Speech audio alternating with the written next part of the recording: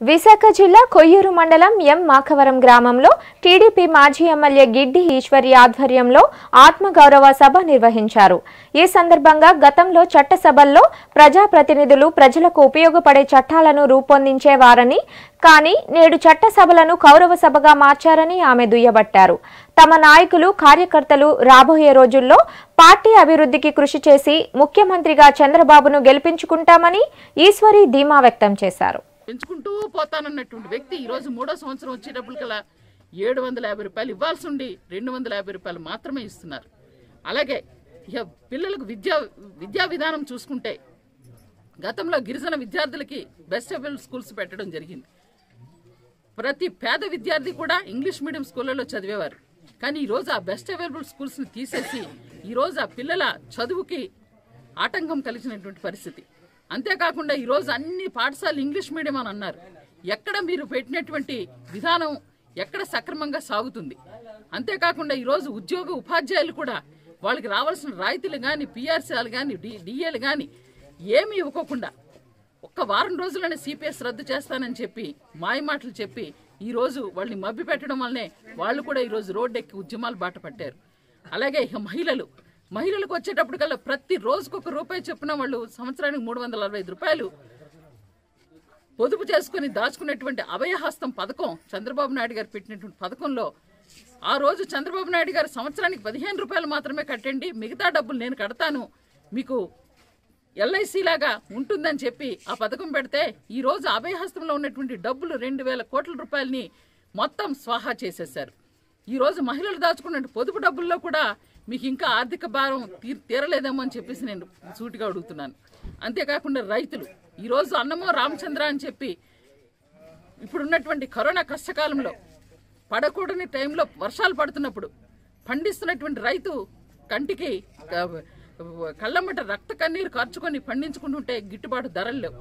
పైగా బజారుకి వెళ్తే రేట్లు పెరిగిపోయి రైతుకు కూడా కన్నీరు తెచ్చేటటువంటి పరిస్థితిని ఈరోజు కల్పిస్తున్నారు. అలాగే మీరు ఇచ్చే రైతు భరోసా కూడా.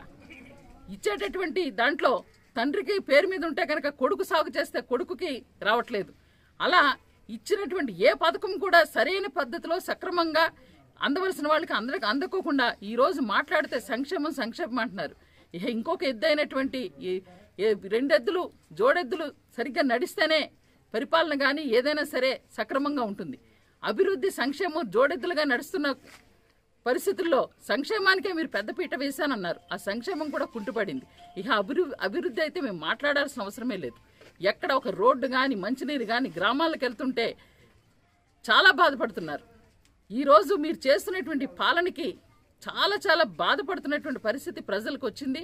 ఖచ్చితంగా ఈ ప్రజల పక్షాన్ని ఏదైతే మీరు నష్టం చేస్తున్నారో అన్ని వర్గాల వాళ్ళని మీరు నష్టం చేస్తున్నటువంటి ఈ తీరుకి నిరసిస్తూ ఈ ఆత్మగౌరవ సభలే కాదు రాబోయే కాలంలో నారా చంద్రబాబు నాయుడు గారు పిలుపు మేరకు తెలుగుదేశం పార్టీ ప్రజల పక్షాన పోరాటం చేస్తాం ఉద్యమం చేస్తాం ప్రతి గ్రామానికి వెళ్తాం ప్రతి వ్యక్తిని వ్యక్తిని కూడా చైతన్యం చేస్తాం.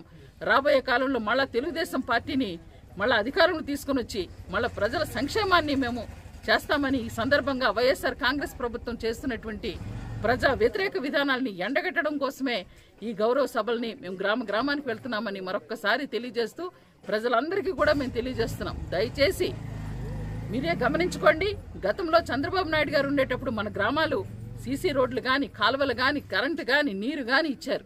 ఈరోజు వైఎస్ఆర్ కాంగ్రెస్ ప్రభుత్వం వచ్చి సర్పంచులు వస్తే సర్పంచులు నిధులు కూడా లాగేసుకున్నారు. ఈరోజు నిధులు లేకుండా కనీసం గ్రామాల అభివృద్ధి లేకుండా గ్రామంలో ఉండే ప్రజల సంక్షేమం కూడా కుంటుపడేలాగా చేస్తున్నటువంటి వైఎస్ఆర్ కాంగ్రెస్ ప్రభుత్వాన్ని అందరూ వ్యతిరేకించాలని ప్రజాస్వామ్యంలో ప్రజల కోసం ప్రజలకు ఎవరైతే సేవ చేస్తారో వాళ్ళని మళ్ళా మీరు ఎన్నుకోవాలని ప్రజలు కూడా మేము విన్నవిస్తూ ఈ ఆత్మగౌరవ సభల్ని మా కొయ్యూరు మండలం పార్టీ శ్రేణులంతా కూడా ఐకమత్యంగా మేము ఈ వీటిని విజయవంతం చేసుకుంటాం. ఖచ్చితంగా రాబోయే రెండు సంవత్సరాల్లో తెలుగుదేశం పార్టీని ఇంకా బలోపేతం చేస్తామని ఈ సందర్భంగా తెలియజేస్తున్నాను.